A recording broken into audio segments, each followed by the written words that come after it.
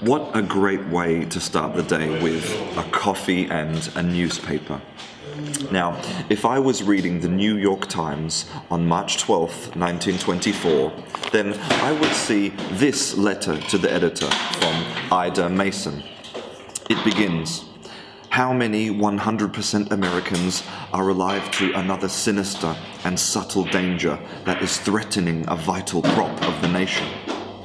It goes on to say, Now, I demand a congressional investigation to discover what sinister propaganda is at the bottom of this new peril.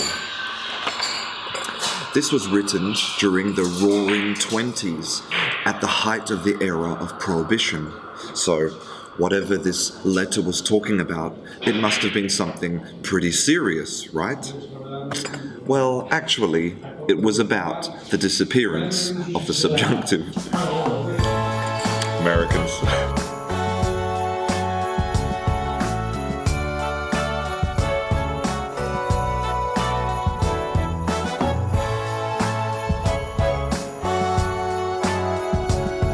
Hello and welcome to Canguro English. I'm Christian, and today I am going to teach you something completely useless the subjunctive.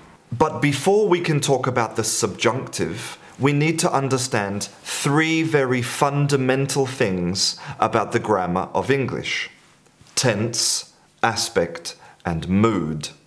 The first thing, tense, tells us when an event is happening in time. Is it the past or the present or the future? And we show tense in English by conjugating our verbs. In this example, I am a teacher. The verb to be is shown here in the present tense. So I know that this sentence talks about something in the present. And if I want to talk about something in the past, then I conjugate my verb. I was a teacher. The next thing, aspect, tells us how we view that event in time. Are we viewing it as a completed action?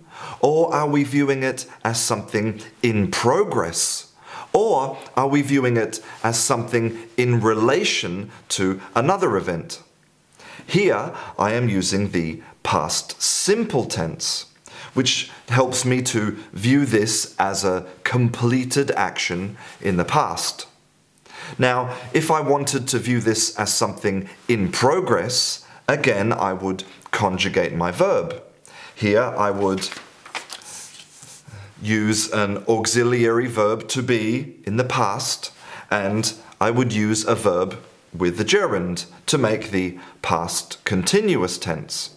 The final thing is mood.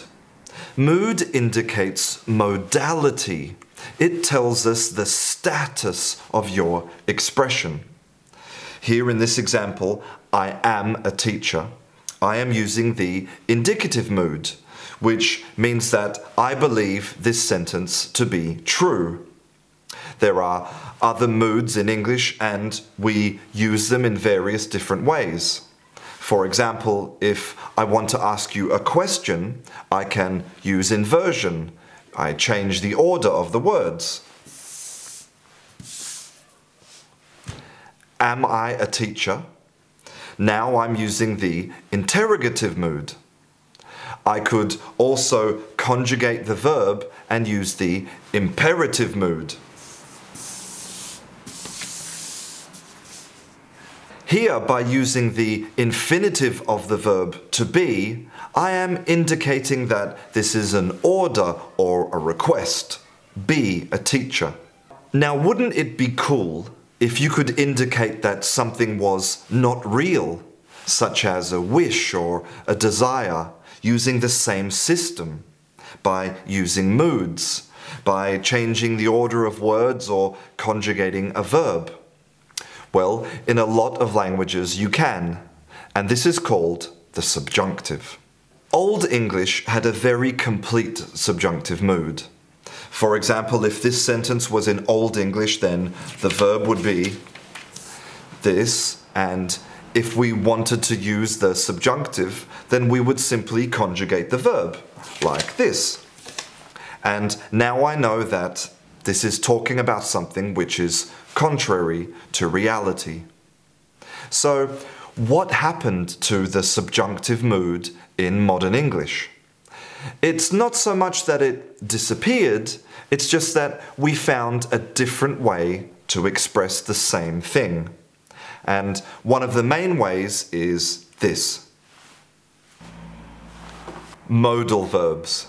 Modal verbs allowed English speakers to express themselves in exactly the same way as the subjunctive mood, to talk about probability, possibility, permission, desire.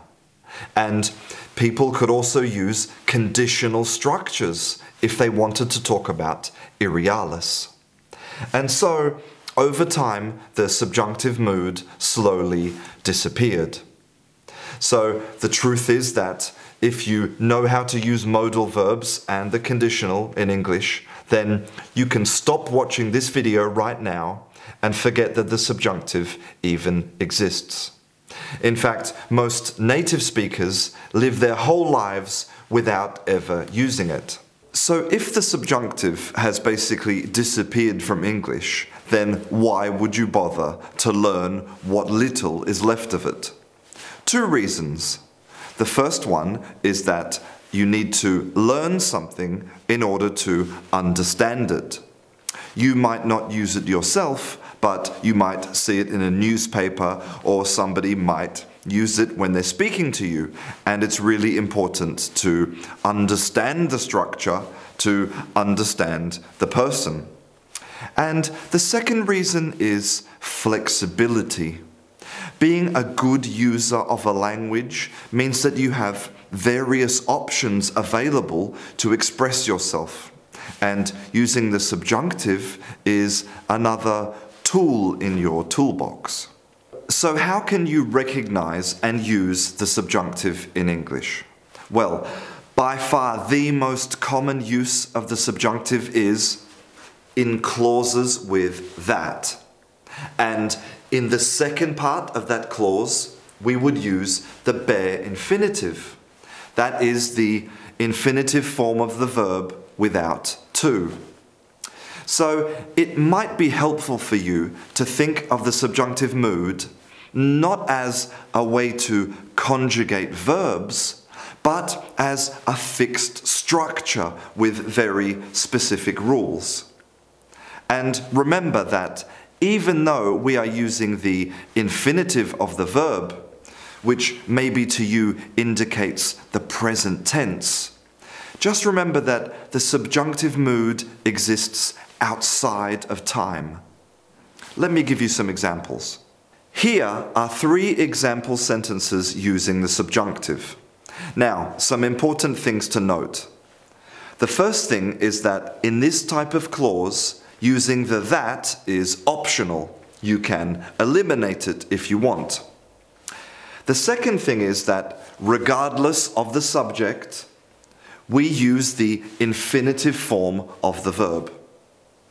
Now, in the first sentence and the third sentence, it's very easy to see the subjunctive being used because normally with he we would use eats. And here, if we want to negate a verb, normally we would use don't and not not. But in the second sentence here, it's completely opaque. It's impossible to know whether it's using the indicative or the subjunctive mood. And that's one of the reasons why English developed other ways to express this idea. But clauses are not the only place that you can find the subjunctive.